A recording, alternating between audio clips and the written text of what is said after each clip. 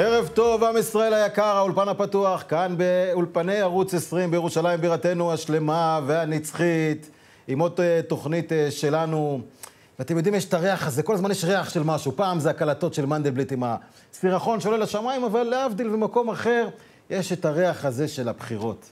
לא יודע, אני מדבר על זה כל הזמן, אבל הריח שוב נמצא איתנו כל הזמן. סקרים בערוצים שונים, לא שאני כל כך מאמין לסקרים, אבל סקרים, דיבורים, עוד פעם חקירות ותלונות וכותרות, כי חוששים שנתניהו כנראה עוד פעם הולך להתמודד. הכל כזה מריח יחד עם הפחד, הסקרים, המנדטים, ריבונות, תקציב. יש תירוצים, יש תירוצים, יש בחירות. אני מוכן להמר. ערב טוב, חבר הכנסת אה, ניר ברקת. ערב טוב ומבורך. קודם כל הייתי צריך לפנות אליך כ- כשר האוצר, תשמע, זה האמת בעיניי הזוי כל המהלך הזה. אה, אני גם זכיתי לפרסם לראשונה כאן, אה, באולפן הפתוח, שאתה תהיה שר האוצר הבא, וראש הממשלה הכריז, וזה היה חלק מקמפיין הליכוד, ובסופו של דבר, אתה היחידי ששותק. תראה, קודם כל זה באמת אה, זכותו והמנדט של ראש הממשלה להחליט איך מורכבת הממשלה. כשהוא שוחח איתי, הוא הבהיר שהוא בהחלט רואה בי שר אוצר בפוטנציה. אני לא אסביר את כל הדברים שהוא אמר, אבל אני מאוד מכבד את החלטתו. צריך להבין שלטובת ממשלת אחדות, שנכנסנו אליה, צריכים לעשות ויתורים. ואני אה, בהחלט אה, הבנתי שתפקיד בכיר לא ניתן לעשות בגלל האילוצים האלה. אה, אמרתי לראש הממשלה, תיק קטן אל תיתן לי. עדיף לא לקחת כל מיני תיקים שעכשיו המציאו, זה גם אה, בזבוז כסף, וגם אני רוצה להיות במקום, למדתי בצנחנים, כמ"פ בצנחנים, להיות איפה שאתה הכי הרבה יכול להשפיע, וזה לא בתיק קטן, זה או בתיק גדול, או להיות חבר כנסת מן השורה בוועדת כספים, כמו שאני עושה בימים האחרונים, מתעמק ומציע חלופות, ואני בסך הכל מאוד מאוד מכבד, תומך בראש הממשלה, והכל בסדר. והכל בשקט, צריך לומר, כי אחרים עשו קצת מתלהבים. שרירים, וחלק קיבלו, חלק לא קיבלו. אבל אתה יודע, אני נזכר במשהו אה, לפני כמה חודשים, קצת לפני הקורונה, אני חושב, או לפני הבחירות קצת, תקופה כזאת, כמה חודשים אחורה, אולי חצי שנה נפגשתי איתך בתל אביב, אתה זוכר, ואני לא יודע אם אתה זוכר, אבל עבר שם מישהו לידינו וצעק, אהלן ראש הממשלה הבא, או משהו כזה, הנה ראש הממשלה הבא, אז מה, אולי אתה מסתכל אה, מרחקים ארוכים? קודם כל, אני בהחלט אה, רץ למרחקים ארוכים. אני תומך בראש הממשלה, אעשה הכל בשביל לסייע לו. הוא הבן אדם המתאים ביותר להמשיך ולהוביל את המדינה שלנו. ביום שהוא יחליט לפרוש, ולא דקה לפני, אז אתמודד בליכוד, אנצח, ובעזרת השם אה, נזכה באמון הציבור ונוביל את המדינה. אם יהיו בחירות עכשיו, תהיה שר אוצר אחר כך? תראה, לפי הסקרים אה, יש אתה ימין. יודע שצריך לשאול את ראש לפי הממשלה. הסקרים יש ימין. לא, אבל הוא התחייב. תשמע, אני זוכר, אני זוכר את ה... אתה, אתה בנית תוכנית כלכלית. אני גם כן. ראיתי לפחות את חלקה הנרחב, שהיא מעניינת, היא משכנעת, צריך לומר, וראש הממשלה בעצמו השתכנע ממנה, וגם זורם איתה. ואני לוקח את זה להיום, הוויכוח הזה עם, אה, עם כץ. מה סלע המחלוקת? הרי התוכנית שלך היא תוכנית שאהבו אותה למעלה, צריך לומר. תראה, התוכנית שדיברנו עליה היא איך להאיץ את הצמיחה במשק. היא מקבלת משנה תוקף היום. רק לפני זה יש לנו את משבר הקורונה, שהוציא מיליון אנשים לחל"ת, ואנחנו צריכים לשים בעדיפות הגבוהה ביותר איך מחזירים את האנשים לחל"ת למקומות העבודה שלהם. וזה אתגר מאוד מאוד גדול. וגם על זה אה, הגשתי תוכנית לראש הממשלה מיד עם אה, התחלת אה, משבר הקורונה, והרעיון, באמת מה שהיום לכאורה במחלוקת, אני טוען שהסיוע של המדינה חייב להיות במספרים גדולים, בתמיכה ישירה לעסקים. העסקים אה, במדינה, שבעצם הם הקטר צמיחה, הם הרזה שמחזיק את המגזר הציבורי, במרכאות כפולות השמן, באנלוגיה של ראש הממשלה, אנחנו צריכים לסייע לעסקים לעבור את המשבר, לצלוח אותו. וזה לא יכול להיות רק בהלוואות, זה חייב להיות בתמיכה ישירה לעסקים. לצערי הרב, האוצר לא אה, אה, הלך על המודל הזה. הוא לא הלך למה? כי הם לא מבינים בכלכלה? לא, אני חושב בוא נשים שאנשי את הדברים האוצר, על השולחן. אנשי האוצר, אגף תקציבים באוצר, לא, אבל אני מדבר על שר. האוצר. אני מדבר על שר האוצר. בואו נתחיל רגע באגף תקציבים, כי הם ייצרו את התוכניות הללו. הם אנשים שהגיעו ישר מהאוניברסיטה לאגף. הם לא מבינים, הם לא מבינים איך העולם עובד. אני ראיתי את זה גם כראש עיר, ואני רואה את זה אה, במהלך השנה האחרונה, ובמיוחד עכשיו. זה פקידות שחושבת שהיא יודעת הכל, שאין לה ניסיון כלכלי עסקי, אין לה את זה. ואתה רואה שהם מכינים תוכניות שאין, הן פשוט לא רלוונטיות למציאות. זה פשוט אז מה, כואב הלב אנשים לראות. שם הם אנשים לא טובים? הם אנשים אולי הם טובים, אני מדבר מבחינה מקצועיים. ב- מקצועית, הם לא מבינים את המטריה. פשוט ככה, אני אומר לך... מה, היית נכנס למשרד, היית עושה בו סדר? הייתי קודם כל אנשים קובע שכל מי שמגיע לאגף תקציבים, הוא לא מגיע שם מהאוניברסיטה. הוא צריך ניסיון כמו שאתה מקבל מישהו לעבודה. אתה היית מקבל מישהו לעבודה בלי ניסיון רלוונטי. משמעי לא. זה לא המבחן שם. אתה, אני חושב שמי שצריך להיות רפרנט חינוך, רפרנט רווחה, בכלכלה, אנשים שבאים מהעולם האמיתי, אנשי עסקים, אנשים שהתחככו במגזר, ויבואו לסייע למדינה אחרי שהם כבר מבינים איך העולם עובד. זה לא קיים היום. צריך לפרק אותם ולבנות אתה, יודע, מחדש אתה, סביב... אתה, אתה מזכיר לי כאילו עכשיו שאנחנו מדברים על האקדמיה ולימודים ומבקשים מכל בחור צעיר, הבן שלי בלימודים, הבת שלי בלימודים, כולם בלימודים כדי שיוכלו להגיע למשהו. נבחרי ציבור בישראל, לא רשויות מקומיות, לא ראשי עיר ולא אה, נבחרי ציבור שיושבים בכנסת צריכים לימודים אקדמיים. וזה אולי, אולי באמת אה, משהו שהגיע כאן לשנות ולבוא, אם אתה רוצה אדם מקצועי, לפחות שיעבור משהו. אגב, ברמה האישית אני לא חושב שבכלל צריך לימודים- כאלה, צריך ניסיון וידע והכל, אבל סיפור חברי אחר. כנסת זה בסדר שיבואו מהשטח, וזה לגיטימי. אני, קודם כל, בוא נדבר על הפקידות. הפקידות, בוודאי באגף תקציבים, חייבת להיות מאוד מאוד מקצועית. הם מעבירים המון רפורמות, חוץ מרפורמה על עצמם. Uh, לצערי הרב, אני חושב שמה שהיה צריך לעשות זה להעמיד אותם במקום, ולוודא שמתחלפים שם הפיגורות לפיגורות עם ניסיון. לצערי הרב זה לא קורה, ואתה רואה, תשמע, אני מדבר עם, עם אנשי עסקים. אני גם עשיתי דבר אחד או שניים בחיי, גם בעסקים וגם כראש העיר ירושלים. והצלחת, צריך לומר. גדול, אפשר להגיד שלא. והפרספקטיבה שאני מסתכל על האתגרים הכלכליים, זה איך לחולל צמיחה. ותראה, למשל, בימים האחרונים אנחנו עסוקים בחוק, שעלה לאחרונה, שמדבר על שישה מיליארד שקל השקעה בעסקים, 7,500 שקל לכל עובד שחוזר. עכשיו, בוא, אז תבין את האבסורד פה. עסקים שהתעקשו לשמור את העובדים שלהם, הפסידו פעם ראשונה כי הם התעקשו, במקום שהמדינה תממן, הם מימנו, ועכשיו הם לא מקבלים שום סיוע. לעומת זאת, מי שבמרכאות כפולות אה, שחרר את העובדים שלו, כי היה לו קשה מדי, והם הלכו לחל"ת או, נפ... או הלכו לפיטורים, פעם ראשונה הם הרוויחו כי הם חסכו כסף, ועכשיו הם מקבלים פעם שנייה סיוע מהמדינה לקלוט עובדים חזרה. זה לא הגיוני, אתה בעצם מחנך את האנשים לשחרר עובדים. בעולם הרחב, בארצות הברית, באירופה, משקיעים בשביל שלא תשחרר עובדים, וכאן עשו את הכל פעם ראשונה לשחרר, ועכשיו מתגמלים בעבור החזרה. זה לא הגיוני. זה מסר שפורם את הקשר החזק הזה, החשוב, בין עובד למעביד במדינת ישראל, במקום לחזק את הקשר הזה. אני אגיד לך יותר מזה, כשאתה מסתכל היום על העולם העסקי, העולם העסקי אה, חייב סיוע, העסקים הקטנים, העסקים שהפסידו המון כסף בקורונה, אי אפשר להפיל את זה הכל עליהם, ללכת לקבל ערבויות בבנקים, והבנקים לא נותנים להם. ואנחנו נראה, לצערי הרב, במתכונת הנוכחית עם החוק הקיים, אנחנו נראה שהוא גם לא מקדם אותנו לשום מקום. אתמול, בוועדת הכספים, שאלתי את אחד הפקידים באוצר, הרי אם לא היית נותן סיוע של 6 מיליארד שקל, כמה אנשים יחזרו לעבודה? ומסתבר ש-90% חוזרים לעבודה ללא קשר למענק הזה. אז רגע, אתה הולך להוציא 6 מיליארד שקל, והצטרפו מתוך ה-600 או 800 אלף עובדים, 60 או 80 אלף יבואו רק בזכות החוק. כלומר, אתה מדבר על חוק שהאימפקט שלו, ההשפעה שלו, היא שולית וקטנה. הוא פורם את הקשר בין עובד למעביד.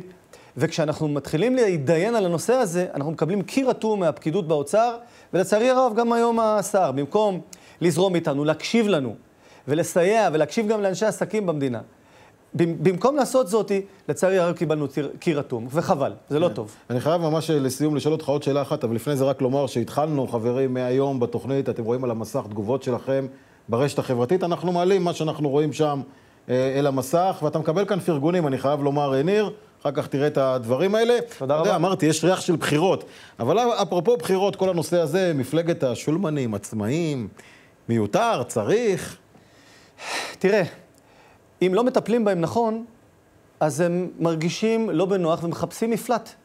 אחת הטענות שלי, אנחנו בליכוד, מפלגה ליברלית, מאמינה בשוק חופשי, אנחנו הראשונים שצריכים לתמוך, לא בפקידות באוצר, אנחנו צריכים לתמוך בעסקים. והצעקה שלי, המחאה שלי, הדברים שאני אומר, זה לתת מתווה, עוד לא מאוחר מדי, לתת מתווה אמיתי ולתת לאנשים האלה פתרון. בסוף, מי הם השולמנים האלה? זה אנשים שמעסיקים מיליון כולנו. עובדים. ואם אתה רוצה לדאוג למיליון עובדים, אתה צריך לוודא שיהיה להם לאן לחזור. הקשר בין העובדים שהיום מתקשים לשלם את המשכנתה ולקנות במכולת, זה, זה קשיים בלתי נקלטים. אגב, זה לא ייעלם, כי הסיוע לא ממוקד במי שבאמת צריך את הסיוע, בעסקים שקשה להם. במקום זאת, הכסף היום הולך למקום שהוא לא יעיל, זה בזבוז כספי ציבור. ואני מרים את קולי, ללא חשש ומורא, אם לא נעשה את זה, אל, ת, אל תתפלאו שפתאום תקום כזאת עם מפלגת שולמנים אה, משום מקום, והמחאה אה, הזאת תהפוך לכוח פוליטי. אלה יהיו הנוש, הנושאים כמובן של אנחנו הבחירות. אנחנו צריכים לתת להם את הפתרון בתוך הליכוד. ניר, ממש לסיום, אם אה, יבקש ראש הממשלה עכשיו בבחירות הקרובות, שאני מריח שכנראה יגיעו, להשתמש בך שוב כאיזה תפקיד וזורם? אני לרשות הליכוד, אני לרשות ראש הממשלה, אני סומך עליו ואני שם. אני כאן, אני שם, לא הולך לשום מקום. הכל מעניין. אני חייב לומר, אה, ניר ברקת, אה, לא דג, מאלה שאני מכנה אותם דגים. תודה רבה. תודה רבה. הכנסת ניר, ניר ברקת. אנחנו, חברים, נצא להפסקה קלה, ומיד נהיה עם הסרטונים שלכם, עם אביחי חג'בי, עם אילן ציון, בג"ץ, מנדלבליט, כל מה שאתם שואלים, הכל כאן באולפן הפתוח. מיד.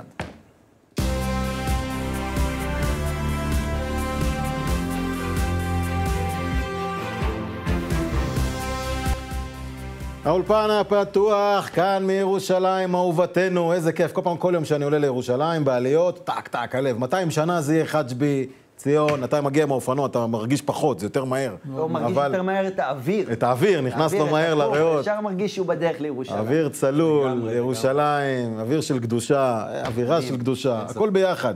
טוב, אבי דמרי כותב, חבל שלא מקשיבים לו, הוא מתייחס לניר ברקת, אה, שהיה כאן, חבר הכנסת ניר ברקת.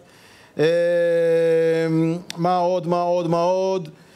אה, חיה כהן, ניר צודק בכל מילה. טוב, דיברנו על כך. מרים אנרישי כותבת צריך בחירות, בחירות, כך היא כותבת, בחירות, בחירות.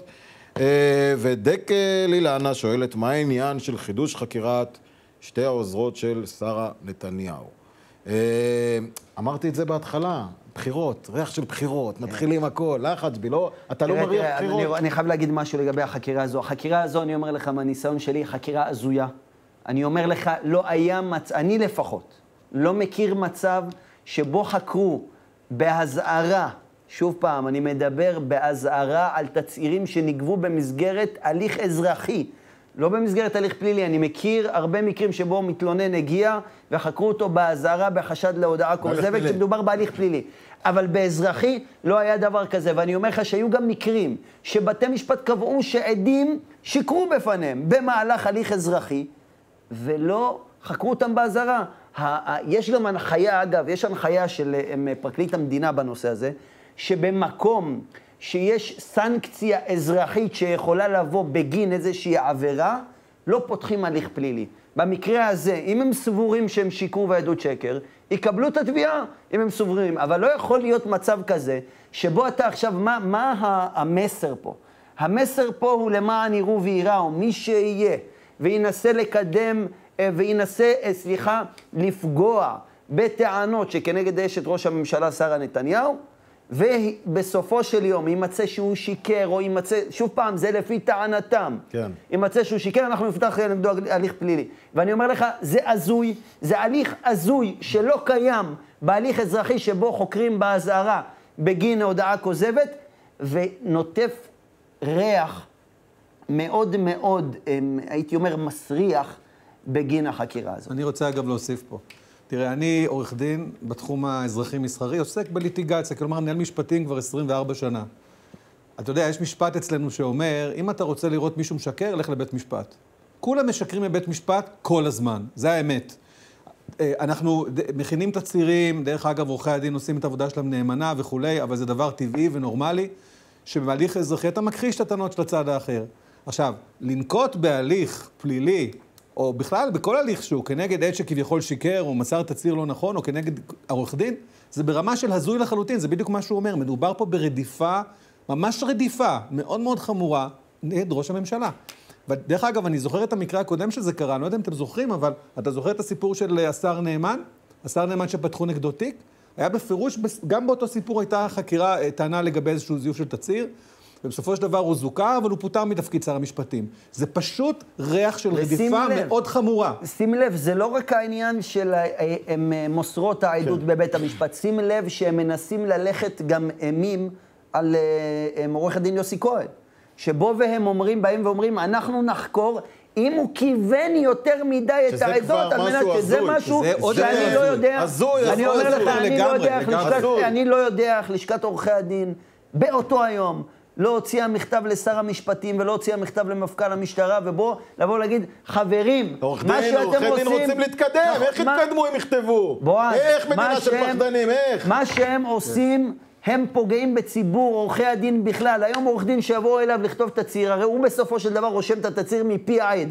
אז הוא יתחיל להגיד, טוב, אני לא. אנסח את זה כך ולא בוא- אנסח בוא- אחרת, והם חוששים מזה. מדהים. בואו בוא, אה, בוא, אה, נתקדם רגע עם הסרטונים שלכם מהבית. שורה תחתונה זה הדברים החשובים. ענייני היום, אנחנו משתדלים להכניס ממש את הסרטונים האחרונים, האלה שמדברים על כל העניינים אה, של היום. ואבי סבן, האשקלוני, מדבר על ירי בנגמ"ש. מעניין. שלום בועז, אני רואה לאחרונה איילת שקד ו... ובנט תוקפים כל הזמן את הימין ואת הליכוד ואת ראש הממשלה. אני לא מבין מה המטרה שלהם ומאיזה סיבה הם עושים את זה. אני אשמח אם אה, תתייחס לזה ותגיד לנו למה. אבי סבן, ירי בנגמ"ש. אין ספק שהוא צודק, יש ירי בנגמ"ש. כן. זה לא מהיום, זה לא מאתמול. אה, אה, שקד בנט מול נתניהו, זה כל הזמן. תראה, בוא, בוא נעשה פה סדר. איילת שקד בייחוד, וגם גם בנט, הם שני אנשים שהיו בלשכת ראש הממשלה. הם, אה, הם, הם מהרגע הראשון כשנכנסו לפוליטיקה, למעשה כל הזמן חותרים להתקדם קדימה, ושקד ספציפית רוצה זה להחליף... טבעי. בסדר, אבל שקד ספציפית מהרגע הראשון רוצה להחליף את ראש הממשלה. היא התקדמה מאוד מהר, ו- וכבר, למרות שהיא מאוד מאוד צעירה, מדובר עליה כביכול כאיזושהי מועמדת לראש הממשלה. לא יודע על, איזשהו, על איזה בסיס בדיוק. עכשיו, איילת שקד, כבר אני אמרתי בפעם הקודמת, לקחה לעצמה איזשהו תואר כביכול של לוחמת כנגד החונטה השיפוטית, ואמרתי שאין לזה בסיס. אנחנו רואים את זה פעם אחר פעם בהתנהלות שלה. אה, רואים את זה גם ב... בסיוע שלה המתמיד ל... ל, ל אה, אפילו, בוא, בוא ניקח אפילו דוגמה, ממש לאחרונה התפרסם שהיא סגרה את החקירה בנושא של רות דוד, למשל, כן? אנחנו יודעים גם מי ניסה לסגור את ישראל היום, שוב, איילת שקד ובנט תמכו בזה.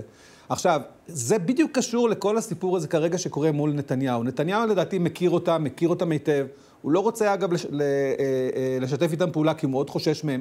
גם את תפקיד שר הביטחון, אני מזכיר שבנט, כפי שדיברנו על זה פעם קודמת, קיבל תוך ממש סחיטה של נתניהו, תוך כדי איום שהוא ילך עם כחול לבן. תשמע, אלה דברים מזעזעים מבחינת מישהו בצד הימני. אני סבור שהחברי הכנסת האחרים בימינה, שזה סמוטריץ', מתן כהנא, עושים טעות מאוד קשה. להערכתי, בנט ושקד סיימו את הקריירה הפוליטית שלהם. הם פשוט בלתי נסבלים בימין. אנשים פשוט לא... אני, אני, רואה, אני רואה ברשתות, הכעס עליהם הוא פשוט עצום. תראה, צריך לומר, צריך לומר ולהסתכל, חג'בי, צריך לומר ולהסתכל על, על הנתונים. הנתונים שהשניים לבד לא עוברים את אחוז החסימה. תראה, איילת שקד ונפתלי בנט, הם מזכירים לי, יש את האמירה הזו שאומרת, אה, כשאהבה תלויה בדבר, בטל הדבר, בטל האהבה.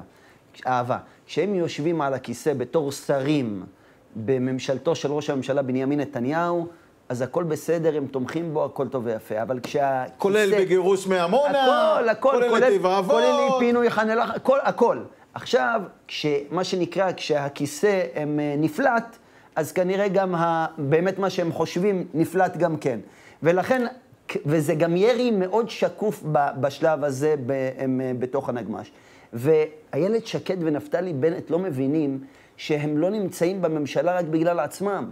אני מזכיר לכם את ההרפתקה של מועד א' בשנת 2019. עזיבת הבית היהודי. הרפתקה שלא הייתה כדוגמתה, שבשלה אנחנו נמצאים בממשלת הבזבוזים הזו, ולא נמצאים בממשלה ימנית עם 65-66 מנדטים, שבו היינו יכולים לעשות, יותר נכון שהימין היה יכול לממש יותר את האידיאולוגיה שלו, אם לא ברמה של 100%.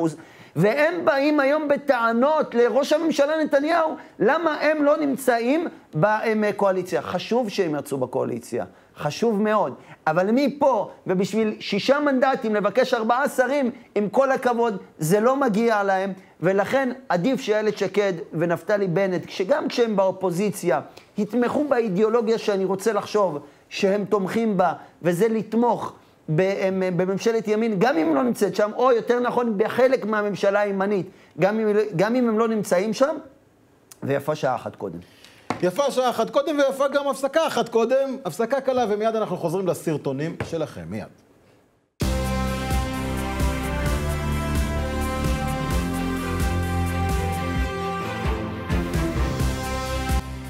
האולפן הפתוח, חזרנו חברים יקרים, הסרטונים שלכם, השאלות שלכם מהבית, התגובות שלכם אה, ברשת החברתית, הנושא שדיברתם עליו אה, קודם, בהחלט אה, גרר כאן אה, לא מעט אה, תגובות, צריך שינוי משמעותי בבג"ץ ועוד דברים אחרים, תמיד זה חוזר לבג"ץ, אנחנו נגיע אה, גם לדברים האלה. צביקה ברל מלוד, ליד לוד, הוא מתגורר ליד לוד, אבל הוא מסכן, הוא לא יכול לישון ב-4 בבוקר. יש לו שעות שלא קובעים לו מה לעשות כל החיים, כי אתם זוכרים איך צחקו עלינו עם חוק המואזין? בואו נשמע אותו קודם. הנה. שלום, אנחנו גרים ליד לוד ומפריע לנו שיגעון בזמנים לא זמנים שהמואזין עושה רעש, קורא לאנשים אה, לבוא לש... לעשות שם לא יודע מה זה חייב להיפסק, זה חייב להיפסק. זה חייב להיפסק, זה, זה, זה, זה עברה על החוק והם לא מוכנים להנמיך וזה מלחמה כל הזמן, כל יום, שעות לא שעות, בזמנים לא זמנים כבוד השר אוחנה, תטפל. תודה, ביי, שבת שלום. קריצה לאוחנה, אבל זה לא אוחנה. בואו נשים את הדברים על השולחן, זה לא אוחנה. כשיש בחירות, יש חוק מואזין. יש חוק מואזין. כשזה עובר, לא צריך. לא צריך שייכנסו לכם לאוזן, שיפריעו. אם אתם תפעילו את הרמקול, חלי על אללה. אני בכוונה אומר את זה בשפה המתאימה. חלי על אללה. אם אתם תפעילו לשכנים. אבל המואזין, יש חוק, גם לא צריך חוק. זה נמצא בחוק. זה בכאילו. הכל בכאילו. בכאילו. ארץ ישראל. חג'בי. תראה, אני... אולי נגיד לחבריך שאתה מייצג מדי פעם, ככה, כל מיני אה, נערים וצעירים, שישימו שמע ישראל בקול, יעצרו אותם על זה, כי על דברים אחרים לא מצליחים כן, איתם. אני, אני רוצה להגיד משהו. אני תמיד אומר שאכיפה זה עניין של מדיניות. אני מזכיר לכם למשל שיש מה שנקרא עד היום שריר וקיים בחוק הישראלי, זה חוק הסוביודיצה. סוביודיצה שאומר שאסור לפרסם פרסומים מסוימים במהלך הליך משפטי כדי שלא להשפיע על בית המשפט. אבל מה לעשות, המדיניות היא לא לאכוף את החוק הזה, ולכן לא אוכפים אותו. אותו דבר במואזין, השאלה היא חוק המואזין, או מה שנקרא חוק הרעש. השאלה היא שאלה של מדיניות, וכשמשטרת ישראל רוצה ומקבלת מה שנקרא הוראה מהממשלה לבצע ולאכוף ולקיים מדיניות, הם עושים את זה. כנראה שלא רוצים לעשות את זה. אני מזכיר שאם אנחנו היינו יושבים עכשיו בגינת בית בשעה 11 ודקה, היו מזמינים, היינו קצת מדברים בקול רם, היו מזמינים לנו ישר משטרה, והמשטרה הייתה מגיעה ב-11 ודקה ו-20 שניות. ונותנת תוך קנס. 20 שניות ונותנת קנס. וגם פעם הבאה גם לוקחת את הציוד. ואת הציוד. אבל מה קורה? הם עשו את זה בקורונה לבני ברק, אתם זוכרים? עשו נכון, תפילה נכון, נכון. בבני נכון, ברק, הפריע לשכנים. עלו למעלה לגג. דרך החלון, לו. דרך הזה, נראה- נכון. נראה אותה, משטרת ישראל מתקרבת למסגד. לא, מהחלון, מתקרבת. צריך... זה, זו שאלה של מדיניות, וכשתהיה מדיניות תהיה אכיפה, ואם לא תהיה מדיניות, לא תהיה אכיפה. צריך לזכור דבר אחד, מי ששולט במשטרת ישראל זה לא ממשלת ישראל. בואו נבין. מי ששולט בהם זה היועץ המשפטי לממשלה, ולמעשה מעליו בג"ץ. כל מה שאנחנו רואים כרגע, כל ההתנהלות הזו של את זה אוכפים ואת זה לא אוכפים, הכל מגיע נכון. ממדיניות מלמעלה. נכון. לכן גם אם ראש הממשלה מחר בבוקר יחליט שהוא רוצה לאכוף את החוק הזה, ואת חוק הסוביודיציה או כל חוק אחר, הוא פשוט לא יכול, תבינו, הוא פשוט לא יכול. למעשה, המשטרה מתנהלת באופן עצמאי עם הממשלה, זה מצב שהוא אבסורדי לחלוטין. ממשלת ישראל, אין לה בכלל משטרה. בואו רגע, דרך אגב, אני לא יודע אם שמתם לב, ראש הממשלה נאלץ להגיש מספר תלונות על כך שמנסים להתנקש בחייו, נכון? תגיד, אתה... אתה- שמסיתים לרצוח אתה- אותו. אתה גם יכול להאמין- באיזושהי מדינה מתוקנת שראש הממשלה הולך למשטרה להגיש תלונה? בשביל מה אתה יודע מה שב"כ? קורה אם ש- ככה על טראמפ? מה זאת אומרת? יש- יש- יש? יש security service. אני לא מדבר על פוטין. כן. לא ברור. הייתה שכונה בכלל. לא, יש כן. שב"כ, בשביל מה יש שב"כ? המשטרה צריכה לחקור את זה לבד. בוא תנסה לזרוק נעל על שופט, אגב, אני מבטיח לך, הוא לא צריך להגיש שום תלונה. אתה תקבל כמה שנים בכלא. אגב- ראש הממשלה אגב- צריך להתבזות ולבקש אג- מהמשטרה שתחקור את זה, והיא לא אג- חוקרת בכלל. אגב, התלונה, לא צריך להגיש תלונה. החוק אומר, החוק, חוק סדר הדין הפלילי אומר באופן ברור, נודע למשטרה על דבר עבירה, תפתח בחקירה. אם המשטרה באמת הייתה לא, הייתה מה שנקרא אמ, אוכפת באופן מידתי גם הסתה מצד ימין וגם הסתה מצד שמאל, ראש הממשלה נתניהו לא היה צריך בכלל להגיש תלונה. הם היו רואים איזושהי, איזשהו פרסום כזה בתקשורת ופותחים. ואני אומר לך, לקוחות שלי. לקוחות שלי, שבאים, בוא נגיד ככה, מהצד הימני של המפה, מתיישבים. אני אומר לך, מסרון אחד שהם שולחים, מסרון אחד, היה לי לקוח ששלח, צריך לחסל את בנט, והוא הסביר לחסל פוליטית את בנט, הוא הסביר את זה, ואגב, קיבלו את העמדה שלו. אבל עצרו אותו תוך 24 שעות. לא צריך תלונה בכלל של נפתלי זה בנט. לא ראש ממשלה. לא ראש ממשלה, לא היה צריך תלונה בכלל של נפתלי בנט. עזוב שבסופו של יום, כשהוא הסביר את זה, למה הוא התכוון, התיק נסגר. אבל לא היה צריך בכלל את התלונה הזו, כשרוצים, אוכפים. כשלא רוצים, לא כי אוכפים. מי שולט במקומות האלה? מי שולט שם? מי שולט בפרקליטות? מי שולט במשטרה? מי שולט שם? זה לא נתניהו, זה לא אנחנו, זה לא הממשלה, זה לא, זה לא המשטרה שלנו. זו המשטרה... זה לא הריבון. זה לא הריבון, זה בכלל משטרה, זו המשטרה בכלל של כן. מערכת המשפט, שהיא בכלל נלחמת איתנו, זה המצב. אנחנו צריכים להבין את זה. אגב, אני רוצה לגלות משהו לצופים. כשאתה מגיש תלונה בגין הסתה בשביל לפתוח בחקירה של הסתה או בחקירה אה, לקריאה לגזענות וכדומה, צריך לקבל אישור של המשנה לפרקליט המדינה, שקוראים לה נורית ליטמן. היא המשנה לפרקליט המדינה. היא מחליטה האם היא פותחת בחקירה או לא פותחת בחקירה, כי המשטרה עצמה לא יכולים לפתוח בחקירה בלי אישור שלה. מכיוון שזה עבירות שנוגעות לחופש הביטוי. ובלי הוראה, ואני נקרא לזה בלי, כך. בלי, הוראה, בלי הוראה שלה, לא יכולים לפתוח בחקירה. עכשיו, עומדת. מישהי שהיא מחליטה באיזה תיקים ייפתחו ובאיזה תיקים לא ייפתחו, ואנחנו יודעים, וכל הצופים יודעים לאיזה מיליה היא שייכת. זה ברור, ברור לגמרי. וכולנו כאן יודעים, ובואו נסגור אולי את הפינה הזאת, אבל כולנו כאן יודעים שההסתה ונגד ראש הממשלה ומשפחתו תימשך. כן, עד ש... בהחלט. אין לו מה אין- לפחד. נכון. אה, אני. פרסמתי כאן, פרסמתי כאן, באולפן הפתוח, לפני כמה, יום חמישי שעבר, פרסמתי כאן ציטוט, למשטרת ישראל יודעת מי הבן אדם, מתוך קבוצת טלגרם, כדור בראש לראש הממשלה בנימין נתניהו. ציטטתי כאן, כלום. שמעתם על מעצר? תשמע, זה מזעזע. כדור בראש זה לראש. הממשלה בנימין נתניהו, כלום. זה מזעזע. בועז, אתם זוכרים את התמונה של סטודנטית בבצלאל שמציירה... חבל? החבל. החבל. עכשיו, איזשהו תיק, יש איזשהו תיק שאני מייצג בו, שבו הגישו כתב אישום בגין אה, אה, קריאה לאלימות מצד לקוחות שלי. וכחלק מה- מ- מהקו ההגנה הזה, שאנחנו טוענים שיש פה אכיפה בררנית. קיבלנו 60 מקרים מהצד שבמקרה מי שאיים שם זה הצד השמאלי מהמפה. וב-60 מקרים, ב-60 מקרים לא פחות, עבריין לא נודע, המקרה לא מקים, המקרה לא מקים, אין עניין לא לציבור. מקים פתיחה, אין עניין לציבור. אני אומר לך, מקרים מטורפים, מקרים שבו אומרים צריך לתקוע בזנת למתנחלים, צריך להרוג את אלו שעושים את ריקודי הדגלים בירושלים, והתיקים האלו נסגרו.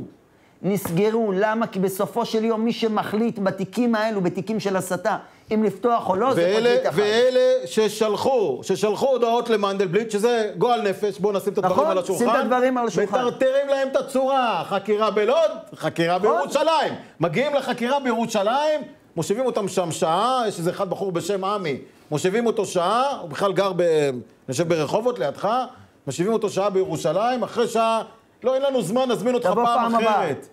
עכשיו, אין להם מה לחקור. שלח, אמרו לו, אל תשלח יותר, נגמר.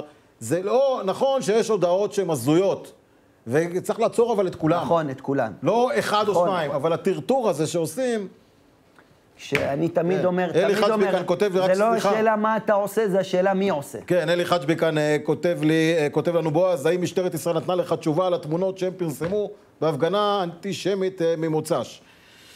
אלי חג'בי, א', לא פניתי למשטרה, אין לי מה לפנות, הרי הם ידברו, בהפגנה הבאה נשאל אותם, ידבררו עוד פעם את ההפגנות האלה, זה חלק אה, מהמשחק. אני רוצה, רוצה לשאול אותך, אה, לפני שנמשיך עם עוד סרטונים, גל אהרוני שואל, השמאל, הוא כותב, השמאל אומר שמדינת ישראל היא מדינת אפ- אפרטהייד. כן, אז, אז קודם, כל, קודם כל אני אומר ככה, יש אמירות, כמו האמירה הזו, שאלה אמירות בפירוש שהן בלתי מתקבלות על הדעת. אי אפשר להגיד אותן במדינת ישראל. המשמעות... עובדה שאפשר. אפשר להגיד, אבל אנחנו, אני, אני כבר אומר, עצם העובדה שאנחנו בכלל מקבלים את הרעיון שמישהו אומר אותם, יש לנו כבר בעיה, אנחנו לא יכולים להתווכח עם בן אדם כזה, לא צריך לדבר עם בן אדם כזה, אנחנו צריכים לשנות את הגישה, להחליף פה דיסקט בכל הדו-שיח עם השיח הפוסט-ציוני, זה אגב סוג של שיח פוסט-ציוני. שיח פוסט-ציוני זה מי שאומר שישראל מעט אפרטהייד, מי שאומר שישראל זה, אה, אין זכות לעם היהודי במדינתו, כן? מי שמארגן חרמות נגד מדינת, מדינת ישראל, כל הדברים האלה, כל הפעולות האלה נגד מדינת ישראל, כנגד הזכות שלנו למדינה, נחשבות בהמון מדינות כעמדות אנטישמיות. עכשיו, אנחנו במדינת ישראל, אחת הבעיות שלנו שאנחנו מנהלים שיחות עם האנשים האלה. חלק מהאנשים האלה מגיעים לאולפנים ומספרים על המשנה שלהם, ומנהלים איתם ויכוח, ואנשים מספרים לי, מה, זה נורא חשוב, אנחנו צריכים להתווכח איתם, ככה נשכנע אותם. אז רבותיי, אין מה לשכנע את האנשים האלה. אין מה לשכנע. דרך אגב, חשוב מאוד להבין, אנשים לא משתכנעים מזה שאתה אומר להם משהו. באופן מפתיע, אנשים משנים את דעתם מסיבה אחרת לגמרי. אנשים משנים את דעתם, ותחזיקו חזק, הם משנים את דעתם בגלל שאתה אוסר עליהם לדבר דברים מסוימים. או אתה אומר להם, תקשיבו, זה מחוץ לשיח. למשל, אם אני הייתי... מפחד, מפחד. לא, אני עכשיו אתן לך דוגמה. אם למשל הייתי בא פה עכשיו ואומר, תקשיבו, אה, ללהט"בים אין זכויות. כן? עד שתי דקות אחרי זה אני פה, אתה זורק אותי מהאולפן. אני לא יכול לדבר ככה באולפן.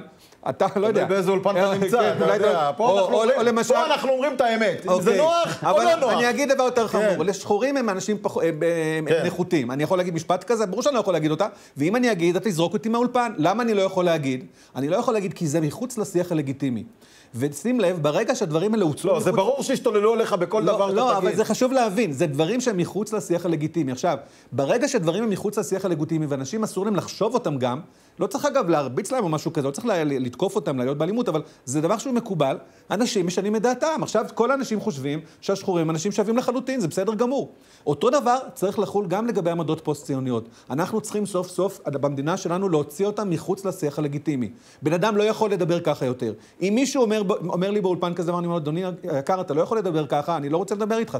סלח לי, עם כל הכבוד, זה לא עמדה לגיטימית. עכשיו, אם אני אגיד, ואתה תגיד, ואתה תגיד, וכל האנשים יגידו את זה פה, זה יקרה. זה, זה הכל, הכל פונקציה של כוח. והעם, אני כן, רואה אני את זה... את זה אני, אני אגיד לך, לוקח את זה להבדיל לעוד מקום. אני כאן, גם אצלי באולפן, יש כאלה שנכנסים בשמאל במילים קשות, ואני אומר להם, חבר'ה, בסופו של דבר זה אחים שלנו, דעות אחרות, זכותם. אני, התפקיד שלי ותפקיד של אחרים זה לשכנע אותם אחרת או להראות שהם טועים. ואתה קובע כי ככה... לשכנע אותם לא נשכנע אותם, אבל להראות שהם טועים. אבל יש גם סגנון. ואתה קבעת שאמרת את באמת, זה, זה- וכשקבעת, כשאתה אומר את זה בעצם, אתה קבעת את גבולות השיח הלגיטימי. אני בא וקורא לעם כולו, לכולם, לכל הצופים שלנו פה, לא לקבל בכלל שיח כזה, לא לדבר עם אנשים כאלה. אין מה לדבר עם מישהו שהוא אנטיש... מחזיק בדעה אנטישמית. אני בא וטוען שברגע שאתה לא תדבר איתם, הם ישתנו, הם יהיו ציוניים. לא תהיה להם ברירה. לא, הם יהיו ציוניים. אני אומר, לא תהיה להם אנשים, ברירה, הם פשוט אנשים לא הם יהיו- לא, לא בתוך הם לא. יכולים לדבר, אתה מי לא יכול להגיד עמדה כזו, הם יהיו מי ציוניים. שאומר כן, שמדינת ישראל היא מדינת אפרטהייד, מעולם, אבל מעולם לא ראה אפילו את הכרך של החוק הבינלאומי שקובע מה זה אפרטהייד ומה זה לא. מה זה אפרטהייד? אפרטהייד זה, מדינת אפרטהייד זה מדינה ששולטת במיעוט מסוים, והוא לא תחת אוטונומיה או אין לו זכויות. עכשיו, אם אנחנו היינו מדינת אפרטהייד, אנחנו היינו ראשונים כמוכרזים כמדינת אפרטהייד. הם, ה- הם, תושבי השטחים, הם חיים, מה לעשות, מתוקף הסכם אוסלו, תחת אוטונומיה, תחת שלטון עצמי. ואי אפשר במצב כזה, זה גם מדינות אירופה וגם ארצות הברית הכירו בזה שהם מתוקף הסכם אוסלו, הם תחת שלטון עצמי, תחת אוטונומיה, ולכן לא ניתן לומר את זה גם חוקית. לא ניתן לומר את זה שאנחנו מדינת אפרטהייד. אנחנו רגע לפני ההפסקה רק מזכיר לכם שמהתוכנית הזאת ובכל תוכנית, התגובות שלכם, החבר'ה בקונטרול מעלים את התגובות שלכם על המסך, תמשיכו להגיב, שמרו על סגנון, אתם יודעים, כמו שאנחנו נוהגים כאן באולפן הפתוח, הכל אה, לפי הערכים שלנו, והכל אנחנו יודעים, יודעים לשמור על אה, כל הדברים האלה, וכאמור התגובות שלכם על המסך, ומיד אחרי ההפסקה גם הסרטונים שלכם על המסך, מיד.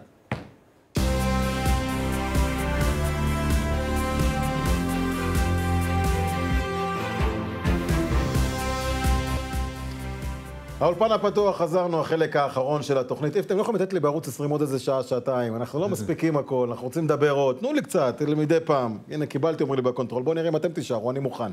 טוב, אה, דניאל צור גילו משילה. איזה שם, איזה יישוב, אה? איזה יופי. איזה, איזה... צור, דניאל צור גילו משילה. ועל מה הוא מדבר? על הטרור המושתק. כמה זה חשוב, הנה. שלום, קוראים לי דניאל גילו, אה, ואני רוצה לשקף לכם מציאות אה, מטורפת שקיימת אצלנו בכבישי יהודה ושומרון. אה, שחוזרים מהעבודה, כשהולכים לעבודה, נשים, ילדים, מבוגרים שחוטפים אבנים, בלוקים, סלעים מכל מיני מחבלים שבכבישים מחליטים להפר את החוקים ולזרוק על יהודים אבנים. ולסכן חיי אדם.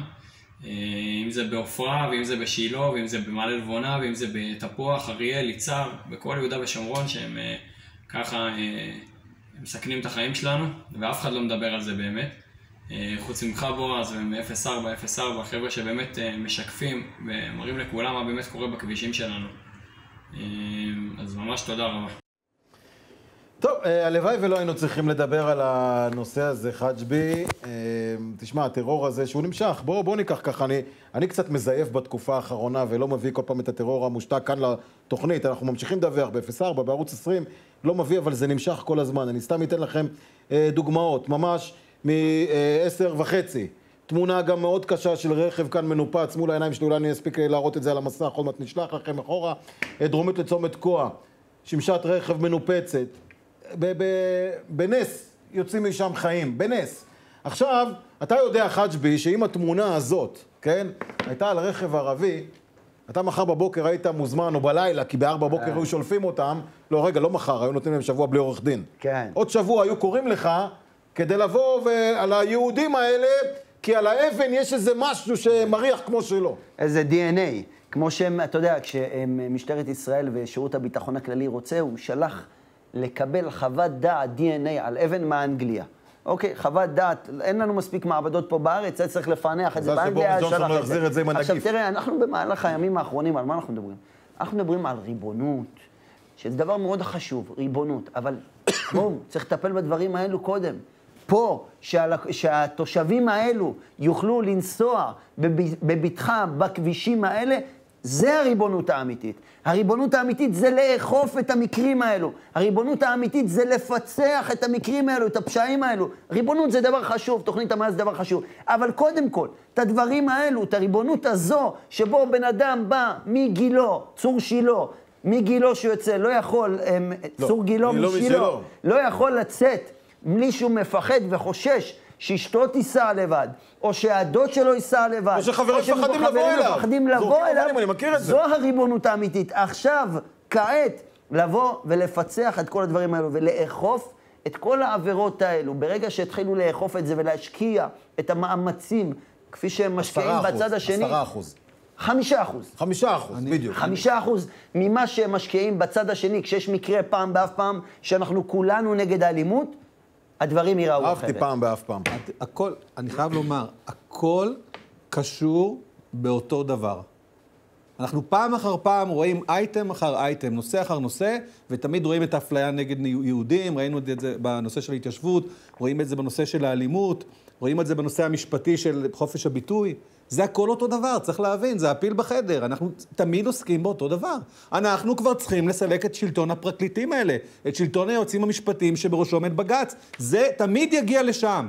ועד שאנחנו לא נסלק אותם, ונקים את כל המערכת הזו מחדש, ונטפל בטיפול שורש, לא ישתנה פה כלום. עכשיו, מאוד חשוב להבין לגבי הטרור הזה.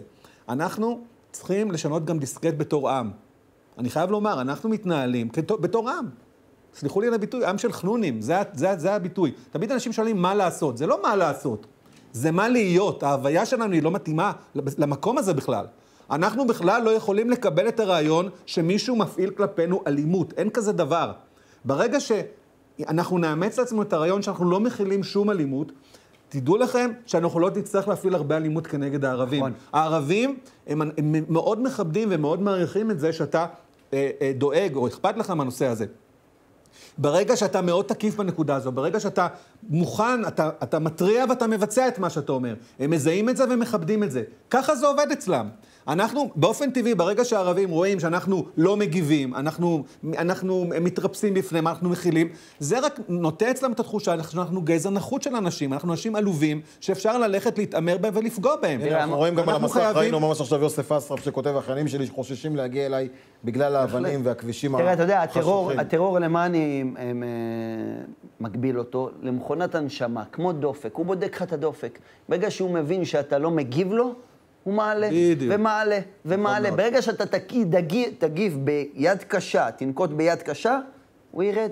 ב- אני חייב אגב לתת דוגמה. אתה תרשה, לי, הייתי, הייתי אצל, אה, בפורום קפה שפירא לפני שבוע, ונאמתי שם, היה לי ויכוח מאוד קשה שם עם, אה, עם כמה מה...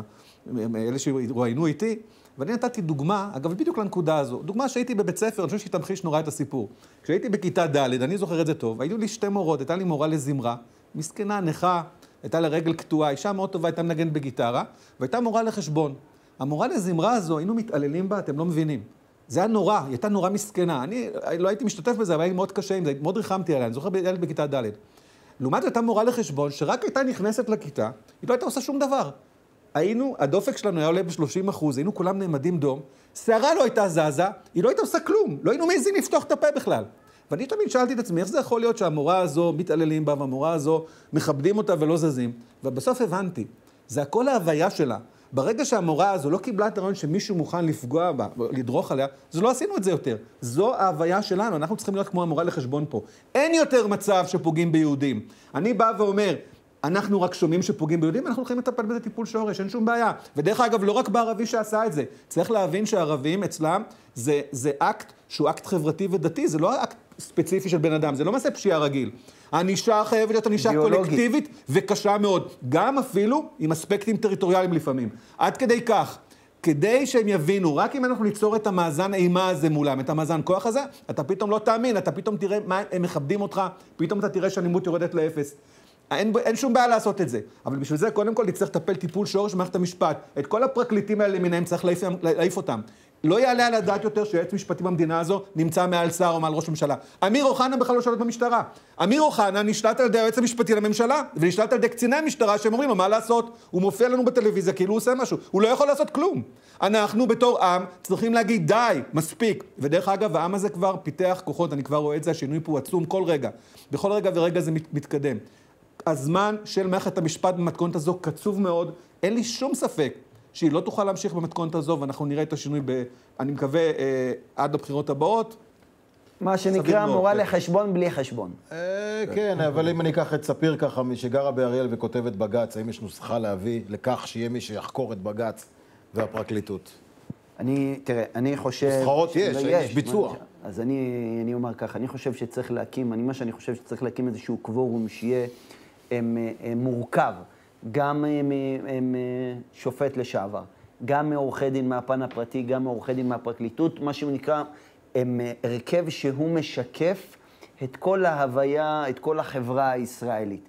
ואותו הרכב, אוקיי, אותו הרכב יוכל גם לחקור את הפרקליטות וגם לחקור את בג"ץ. עכשיו, אם בג"ץ, אם בג"ץ יתערב בחוק כזה, אגב, צריך לעשות על פי חקיקה, אם בג"ץ יתערב בחוק הזה, הוא יוכיח בעצמו שהוא לא מוכן להיות תחת ביקורת, שהוא יושב במגדל השן, וזה רק יוכיח שהטענות שנטענות כלפי בג"ץ במהלך מדי יום ביומו, הן נכונות.